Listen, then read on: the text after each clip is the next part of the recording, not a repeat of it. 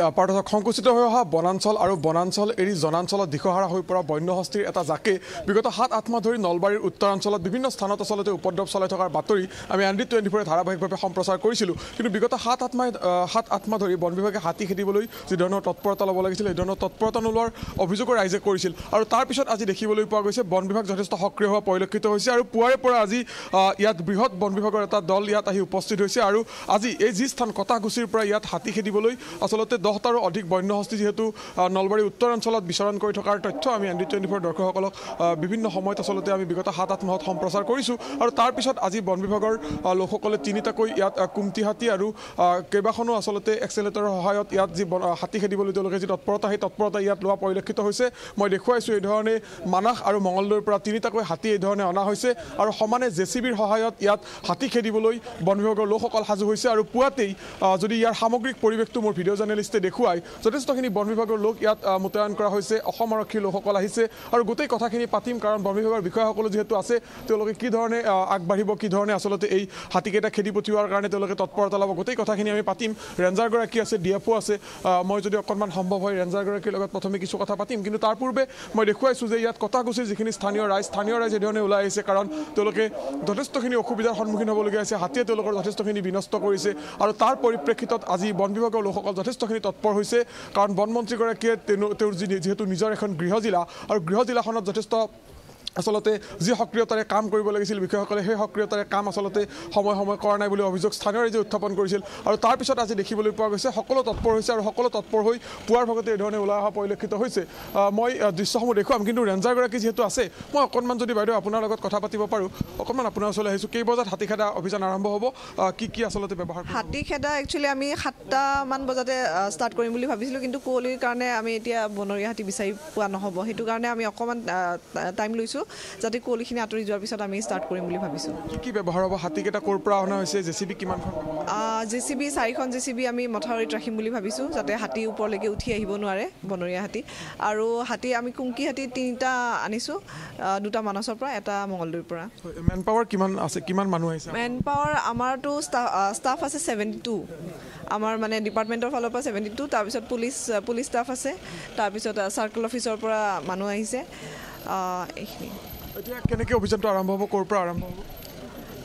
অভিযানটো এতিয়া এই আমি কৃষ্ণগুৰু আশ্ৰমত আছোঁ ইয়াৰ পৰাই ষ্টাৰ্ট হ'ব কাৰণ এইখিনি এৰিয়া এইখিনিয়ে মানে মেইনলি হাতী থকা এৰিয়া হাতীয়ে ইয়াতে উৎপাত কৰি থাকে গতিকে ইয়াৰ পৰা আমি চাৰ্চটো ষ্টাৰ্ট হ'ব। এতিয়া সম্ভৱ হ'বনে? কাৰণ আপোনালোকৰ হাতী মাত্ৰ তিনিটা জে চি বি চাৰিখন। এই চাৰিখন জে চি বি আৰু তিনিটা হাতীৰে দহটাৰো অধিক যিহেতু বন্যহস্তী ইয়াত জাক থকা বুলি কৈছে। ইয়াক একেবাৰে নলবাৰী ইয়াত সীমান্ত পাৰ কৰাই দিয়াটো সম্ভৱ হ'বনে নলবাৰী নাই আমাৰ হয় সেইটো অকণমান অলপ অসুবিধা হ'ব পাৰে। তথাপি ট্ৰাই কৰিম কাৰণ আমাৰ হাতত পাম গান আছে বা ক্ৰেকাৰ্ছ তেনেকৈও ইউজ কৰিব লাগিব। মানুহে যথেষ্টখিনি কষ্ট কৰিব। গতিকে তেনেকৈ পাৰিম বুলি ভাবিছোঁ। আপোনালোকে ক'লৈকে খেদিম বুলি ভাবিছে? আমিতো আমিতো আমাৰ জুৰিজিকশ্যন হৈছে নলবাৰী ডিষ্ট্ৰিক্ট গতিকে নলবাৰী ডিষ্ট্ৰিক্ট পাৰ কৰি দিম। কিন্তু আমি বাক্সাটো কথা পাতিছোঁ। বাক্সা ডি এফ অ' ছাৰৰ লগত ৰেঞ্জাৰৰ লগত কথা পতা হৈছে। গতিকে তেখেতসকলে আমি নলবাৰী পাৰ কৰি দিয়াৰ পিছত তেখেতসকলে লৈ যাব তাৰ পৰা আগুৱাই লৈ যাব। এনেকুৱা হয় যে তাৰ ৰাইজে যদি আকৌ আজি আপোনালোকে খেদি পঠিয়ালে কাইলৈ যদি তেওঁলোকে তাত আকৌ হাতীখিনি ফটকা ফুটাই আকৌ যদি নলবাৰীলৈ আহে তেতিয়া অসুবিধা নহ'বনে হয় অসুবিধাটো হ'ব। তেনেকৈ হ'লে অসুবিধা হ'ব। সেইটো কাৰণে আমি বাক্সাৰ ফৰেষ্ট ডিপাৰ্টমেণ্টৰ লগত কথা পাতিছোঁ আৰু তেওঁলোকে সহায় কৰিম বুলি কৈছে সেইখিনি। যিহেতু আমাৰ জুৰিজিকশ্যন নলবাৰী নলবাৰীলৈকে গতিকে আমি নলবাৰীৰ ভিতৰত আমি কণ্ট্ৰল কৰিব পাৰোঁ। বাক্সাত উলিয়াই দিয়াৰ পিছত তেখেতসকলৰ লগত কথা পাতিছোঁ। তেখেতসকলে আমাক কথা দিছে যে আগুৱাই লৈ যাব। গতিকে সেইটো আশা কৰিছোঁ। ছাকচেছ আপোনালোকে এদিন হাতী খেদাৰ চেষ্টা কৰিছিল। তেতিয়াও কিন্তু সফল নহ'ল। পুনৰ কিন্তু ঘূৰি সফল নহ'ল বুলি মই নকওঁ। কাৰণ ইয়াৰে নলবাৰী ৰাইজে গম পায়। কাৰণ তাৰপিছত ডেৰ মাহমান হাতী নাছিলে। আমি খেদাৰ পিছত হাতী গুচি গৈছিলে বাক্সালৈকে। ডেৰ মাহমান নাছিলে। কিন্তু সিহঁতে মনত থাকে। গতিকে ডেৰ মাহমান পিছত সিহঁতে আকৌ সেই চাৰিটা হাতীয়ে আকৌ ঘূৰি আহিছে। এতিয়া কথাটো হ'ল যে ক্ৰমান্বয়ে বনাঞ্চল সংকুচিত হৈ আহিছে জনাঞ্চলত বন্যহস্তী বিচৰণ কৰিছে। এতিয়া এই ধৰণৰ হাতী আকৌ যদি খেদি পঠিয়াই আকৌ নিশ্চয়কৈ আহিব পৰৱৰ্তী সময়তো আহিব। এবাৰ হয় হয় আহিব পাৰে সেইটোতো চান্স আছে। গতিকে ৰাইজক কি আহ্বান জনাব? কাৰণ ৰাইজো কিন্তু এই ক্ষেত্ৰত সজাগ আৰু সতৰ্ক হোৱাটো অত্যন্ত জৰুৰী। হয় হয় একচুৱেলি বনৰীয়া জন্তুটো দুখ নাথাকে।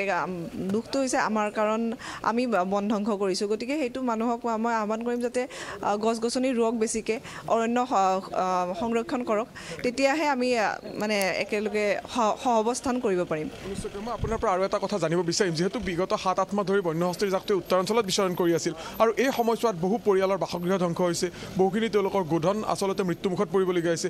এই মানুহখিনিয়ে ক্ষতিপূৰণ যিখিনি পাব লাগে সেইখিনি পালেনে এতিয়ালৈকে এতিয়ালৈকে পোৱা নাই। আচলতে মানুহখিনি সজাগো নহয়। মই বাৰে বাৰে গাঁওবুঢ়াখিনিক ৰিকুৱেষ্ট কৰিছোঁ যে তেওঁলোকে এপ্লিকেশ্যন দিব লাগিব। তেওঁলোকে এপ্লিকেশ্যন দিলে আমি এতিয়া পাই আছোঁ বাৰু। এতিয়া তেওঁলোকে আম, আমিও অকণমান বেছিকৈ প্ৰেছাৰ দিয়াৰ কাৰণে তেওঁলোকে এপ্লিকেশ্যন ভাস্কৰ এই মুহূৰ্তত আপোনাক আমি ধন্যবাদ জ্ঞাপন কৰিছোঁ।